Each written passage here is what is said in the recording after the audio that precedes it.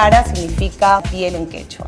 Cara Natural Products nace con la idea de eh, hacer una marca de productos de cuidado corporal utilizando toda la gran biodiversidad que tenemos acá en el Perú. Utilizamos, bueno, quinoa, sachainchi, camu camu, maíz morado, maracuyá. Y estamos siempre en formulaciones y en desarrollos nuevos, ¿no? Para utilizar la maca. O sea, hay millones de cosas por, por utilizar.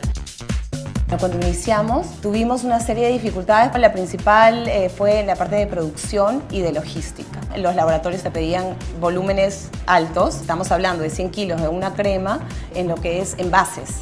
Todo eso era importado y a pedido. Tuve que empezar con envases que eran para gaseosas, ¿no?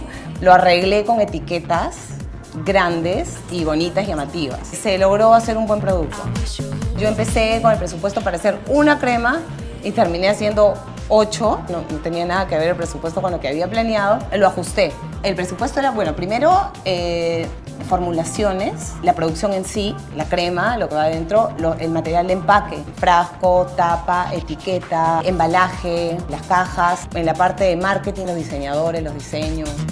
Puedes asignar de tu ingreso mensual para diferentes partidas. Yo generalmente hago desarrollo de productos. Este mercado es de novedad. Vienen cosas de fuera, la gente se, se entera por internet y todo, y tienes que estar al día. Siempre te piden más, más, más, más, más.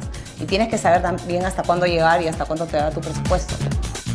La visión eh, a corto plazo de la empresa es franquiciar. Hemos hecho algunas incursiones en el mercado de Estados Unidos yendo a ferias. Es súper difícil porque compites con marcas súper este, conocidas, pero nuestros productos tienen buena aceptación. Hay que tener ganas, constancia, no dejarse caer ante las dificultades porque es tu producto, es como tu hijo. Es tu concepción, lo ves crecer, lo quieres ver este, grande.